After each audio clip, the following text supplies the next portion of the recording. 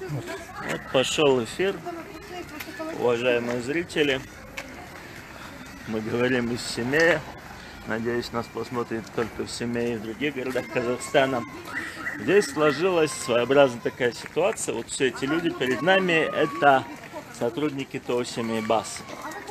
Сейчас, ну можно, пойдемте. Сейчас их планируют, сейчас там планируется массовое увольнение. По словам сотрудников, хотят уволить порядка 200 человек. 200 человек. Вот. Несмотря на то, что это все обставляется, что это якобы увольнение, на самом деле это давно запланированное сокращение, так как изначально, еще в, на... в начале всей этой эпопеи с семейбасом, планировалось, что автобусы, маршрутки, кроме самых крупных, маленькие, будут ходить без кондукторов вообще. Тем не менее, руководство ТО семейбас ведет себя, на наш взгляд, не совсем понятно. Вместо того, чтобы признать, что это сокращение, они э, уговаривают людей написать по собственному желанию или угрожают им какими-то актами. Ну и получается, что вот эти 200 человек все в чем-то виноваты, все плохо работали. И дело не в том, что нужно от сотрудников, которые больше не нужны. Нет, просто они сами хотят уволиться или их заставляют, уговаривают уволиться. Вот, в чем разница? Зритель какой-то спросит, а в чем разница? Разница очень простая. Если это не добровольное увольнение, ну, когда человека уговорили, напиши по собственному желанию, или мы тебя по статье уволим. А если это сокращение, то, во-первых, должна быть выплата сотруднику со стороны предприятия.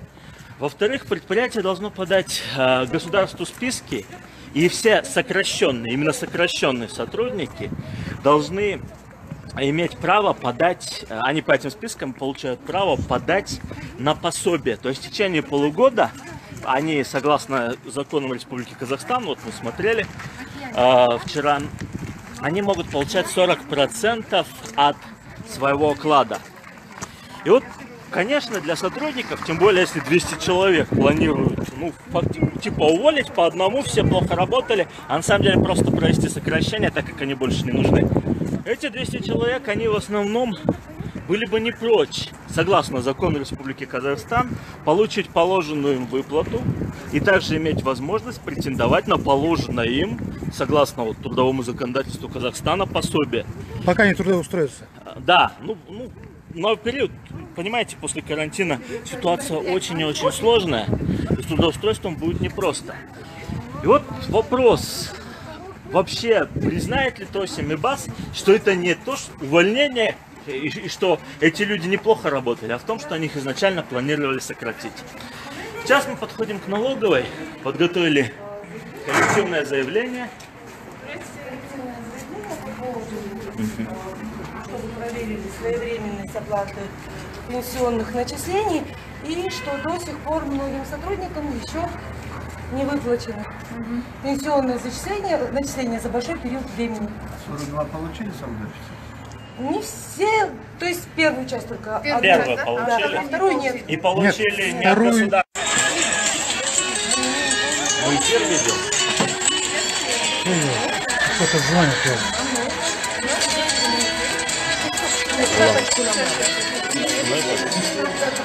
Сейчас. Снимается все равно.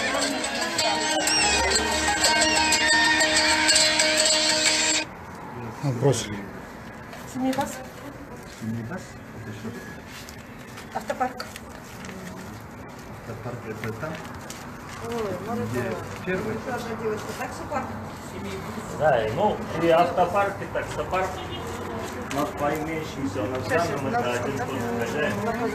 Смотрите, некоторые люди из-за того, что своевременно пенсионка не отчислена была, им выплатил работодатель. То есть они не смогли получить, они не смогли получить 42 500 по закону, потому что не было никаких социальных отчислений, пенсионных отчислений. Они первый раз получили да, 42 500? Первый раз. База. База выплатила сама, потому что она своевременно не отчислила ни пенсионку, ни социальную, ни медстраховку, ничего не отчислила. Из-за этого вообще не получали ничего, как будто безработные были. Из-за этого некоторым сотрудникам база сама выплатила. помельче написали, чтобы совсем глупые И теперь, получается, они и на вторую претендовать не могут, потому что первый раз не получали от государства. Вторую или же база выплачивает, опять же. Или, не знаю, или как-то надо находить. Вот заявление, да, чтобы проверили. Фиг еще. Да ладно, Где? Шалпан, про свою ситуацию рассказать? Ну, мне осталось два месяца дорабо- это, доработать до пенсии. Они не дают мне работать, говорят, что увольняйтесь. Э, Я не собираюсь увольняться. И теперь они э, говорят мне, принесите справку с ВТЭК, что у меня давление. Что ВТЭК пройти, надо в больнице лежать, надо столько, столько анализов, столько врачей надо проходить. Это все деньги стоит. Я так и так два месяца уже дома сижу. Ну, еще такой момент. Последние месяцы будут на вашей пенсии отражаться. Конечно, очень даже будет влиять это все. Да, Выходит, закону два месяца я дома сидела, еще два месяца, четыре месяца у меня будет окошко. Как можно? А какими словами они вас уговаривали уволиться? Они говорили мне, «Переве- переводитесь на мойщика. Но я-то устроилась кондуктором на мойщика. Потом отдел кадр говорит, вам надо увольняться, потом я приму на мойщика. Я не собираюсь никакой документ подписывать. Потому что осталось два месяца мне всего. Ну, с учетом того, что сейчас десятки людей уже уволились по собственному желанию, Да-да-да. потому что их уговаривали, то я, явно здесь стремление есть какое-то избавиться от сотрудников в связи с сокращением штата. Вообще это законно, только это, это именно сокращение. И тогда нужно каждому оклад, и нужно список сокращенных подать вот в совет, чтобы им выплачивали пособие. Да, Вот по данной ситуации, вот оставляешь же там где-то около 100 работников, кондукторов. Вот с таким статусом людей можно же оставить Безусловно. на два месяца. Они не собираются оставлять. Ну, Почему? Почему именно месяца вас? Именно у меня давление. Потому что я вот так же хожу. Не нравится им такое. Что вы ходите, а свои права защищаете? вы работали? Я работала с 3 октября. По сей день я отчислилась. Ну и нормально все было, да, с 3 октября? С 3 октября я хорошо работала, но начисление мне делали первые 4 месяца начисления делали они 28 февраля, второй раз за, за 2 месяца 19 мая. Так, все, сдали, да, получается? Да. Здравствуйте. Меня зовут Борисевич Наталья. Я бывший уволенный сотрудник ТО «Семей БАС». Но приказ еще не получили. Приказ я получила. Получили, Да, приказ я наконец-то вчера получила. Сегодня мы в третий раз уже приходим в управление э, государственных доходов по городу Семей и пишем еще одно заявление, в котором э, я сейчас его озвучу, и вы, я думаю, поймете. Мы, ниже подписавшиеся сотрудники и бывшие сотрудники ТО «Семей БАС» просим налоговую службу по городу Семей произвести проверку на предмет своевременности отчисления пенсионных отчислений и налоговых отчислений со стороны семей БАС. Доводим до вашего сведения, что согласно сведений statkov.kz, ТО «Семей БАС» является крупным предприятием, на который не распространяется мораторий на проверки. Также доводим до вашего сведения, что согласно оценке по правам человека, мораторий не может Бюро, распространяться бюро по правам человека. Бюро по правам человека, ну здесь неправильно цель. Мораторий не может распространяться на случай, когда подано заявление о нарушении закона на предприятии. Мы прикладываем список сотрудников со сроками работы. Просим проверить не только сам факт наличия перечислений, но и их своевременность. А, Потому что людям, проработавшим полгода, проработавшим 7 месяцев, а после того, когда они обращаются именно в управление по госдоходам, делают отчисления одним днем за все отработанные месяца. И после этого мы получаем ответ, а, что нарушений по факту не выявлено. Как же так не выявлено? Потому Вот что здесь стоит большой вопрос. все скинули. И 42 500. Также 42 500 э, сотрудники ТО «Семей БАС» э, первый раз получили не от государства, а первый раз их вынудили э, выплатить автопарку. То есть «Семей БАС» выплатил своим сотрудникам сам, но только один раз.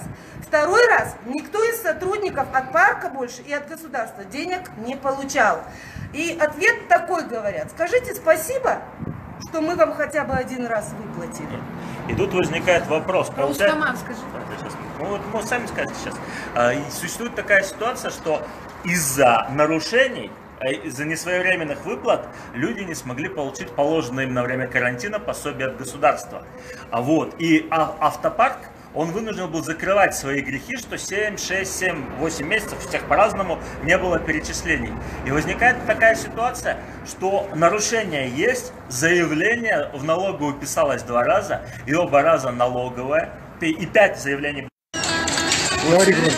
В связи с этим Говори громче. Хорошо. В связи- в связи с этим а, мы сейчас напоминаем, что до этого отказы все шли, потому что это было якобы микропредприятие. Ну, микропредприятие это может работать 15 человек. В нашем случае мы говорим о том, что на этом предприятии работало около 700 человек. Сейчас на а, вот этом портале stat.gov.kz твердо указано, что э, семей БАС это крупное предприятие.